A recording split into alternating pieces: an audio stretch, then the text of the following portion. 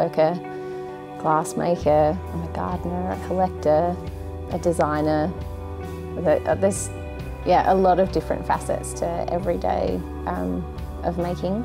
I'd done part of my study and then travelled, was doing the typical Aussie thing of working in a pub, ridiculous hours, getting paid, you know, £4.50 an hour.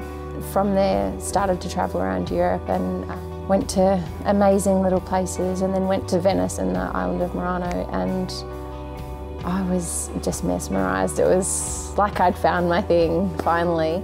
You know, we'd go past little windows of people doing traditional lamp working, which at that stage I'd never seen. Like I was only aware of the um, big furnace work and that sort of thing. You know, I'd been to the jam factory and seen bowls being made. But until that point, I'd never seen the lamp working, which is, you know, small scale over a, a small flame.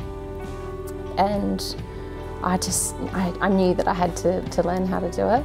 And when I came home um, from those travels, uh, my turtle tank broke and the only glazier that was open uh, was a little place on Unley Road and they were just about to start teaching lamp working for the very first time.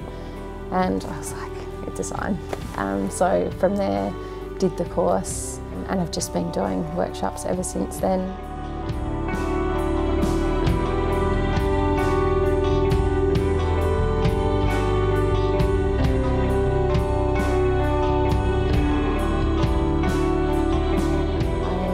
did a residency over at Square Peg Studios in Sydney, which is a studio that is modelled on the sort of structure that we've got here.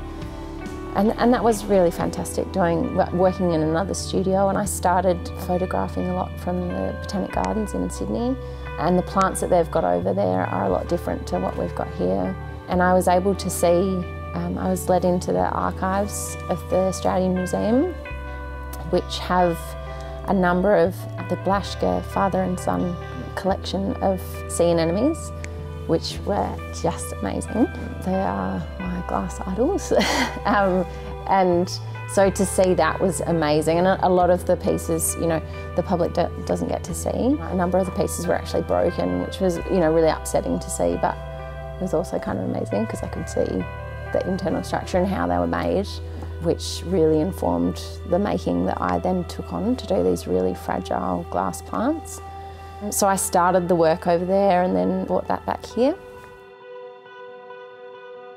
You know, I've made a lot of things, but I'd, I'd, never produced a body of work, I suppose, that I was really proud of and that I'd wanted to invest so much money in getting photographed and then producing a catalogue. A very special show to me because, you know, I actually ended up dedicating the show to my grandfather, who was an accountant, but an amazing gardener.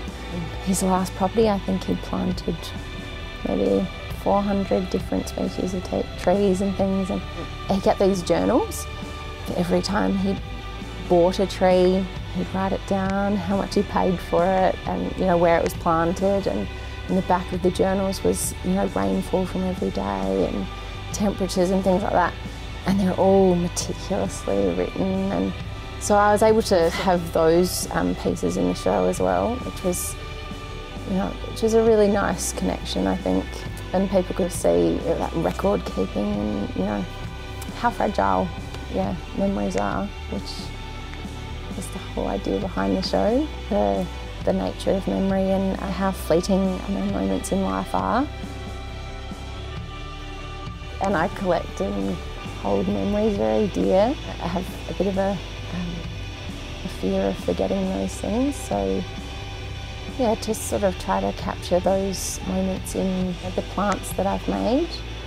Part of the making, I suppose, with the plants was uh, as you can see, I've got photographs of loads of plants. I spend lots of time in the garden. I don't try to create plants that are exact replicas of nature.